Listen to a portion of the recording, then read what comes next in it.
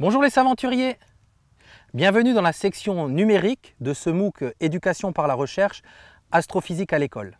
Je suis Régis Forgione, professeur des écoles, passionné de sciences et notamment d'enseignement des sciences à l'école et je serai votre hôte pour cette série de vidéos. Dans cette section, nous allons explorer quelques logiciels, applications et usages en classe de solutions numériques spécifiquement dédiées à l'astrophysique. Si vous désirez en savoir davantage sur quelques enjeux autour du numérique à l'école, ou encore découvrir des usages et solutions numériques pédagogiques plus génériques, je vous encourage vivement à aller consulter la chaîne YouTube des Saventuriers pour y dénicher la rafraîchissante euh, playlist de vidéos de François Lamoureux, du MOOC Conversion numérique à l'école, ou encore celle de votre hôte pour les MOOC Neurosciences à l'école et Climatologie à l'école, dont vous retrouverez les liens dans les notes accompagnant cette vidéo. Au travers des six vidéos de cette série, nous allons explorer différents usages pour lesquels les outils numériques peuvent apporter une plus-value, que ce soit en termes d'enseignement ou d'apprentissage. Je vous présenterai notamment des outils pour observer le ciel et les étoiles avec des atlas célestes interactifs comme Stellarium ou Starwalk.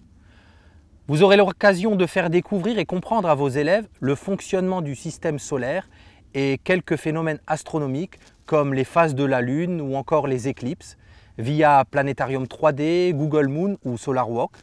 Nous irons aussi du côté de la conquête spatiale entre missions scientifiques et robots explorateurs avec Scratch ou Tickle.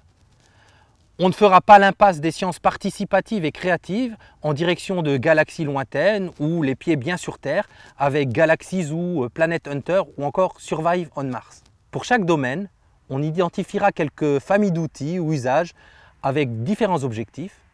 Tout d'abord que leur utilisation soit facilitante en termes d'apprentissage et d'enseignement avec une vraie plus-value pédagogique ou d'usage.